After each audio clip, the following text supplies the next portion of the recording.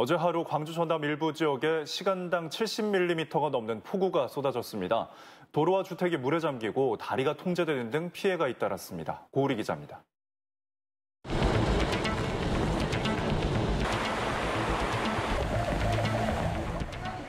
아파트 지하 계단 입구까지 물이 가득 찼습니다.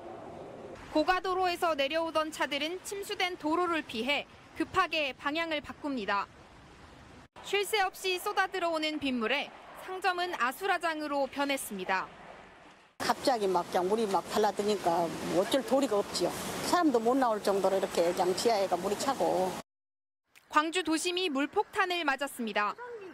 특히 남구 주월동과 백운동, 동구 하군동 일대의 상가와 주택들이 큰 피해를 입었습니다.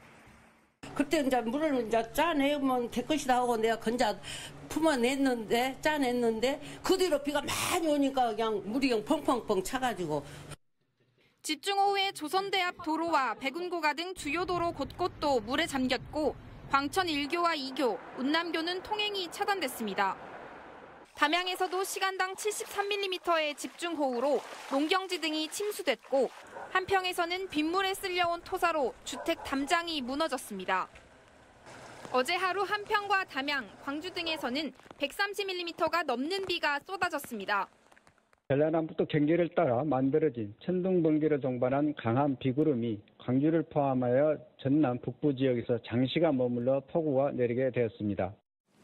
오늘까지 광주 전남에는 30에서 80mm의 비가 더 올 것으로 보여 피해는 더 늘어날 것으로 보입니다. KBC 고울입니다.